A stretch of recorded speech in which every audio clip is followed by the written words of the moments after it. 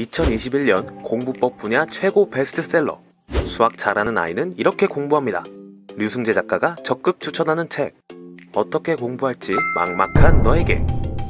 류승재 작가는 말합니다. 많은 학부모와 학생들이 끊임없이 올바른 공부법을 찾아다니지만 대부분의 공부법 컨텐츠들은 그런 기대를 충족시키지 못한다. 이 책은 이런 갈증을 단숨에 해결시켜주고 있다. 나는 이 책을 하루 만에 다 읽었다. 읽는 내내 그간 내가 주장한 수학 공부법과 유사한 부분이 많아서 놀랍다. 내 아이와 아내, 내 학생들에게 빨리 읽혀야겠다는 생각이 강하게 들었다. 공부법에 대한 올바른 지식뿐만 아니라 당장 활용할 수 있을 정도로 실용적이다.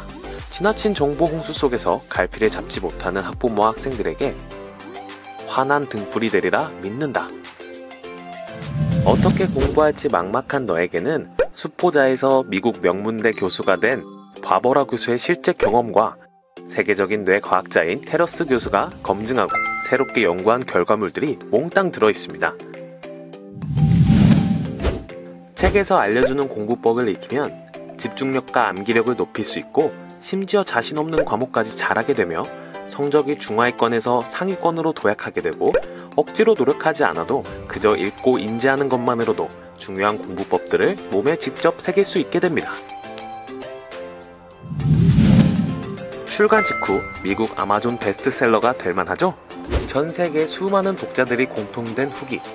이 책에서 소개하는 개념과 방법이 아주 간단하고 유용해서 공부에 자신 없어 하던 우리 아이들도 충분히 이해하고 실천할 수 있었어요.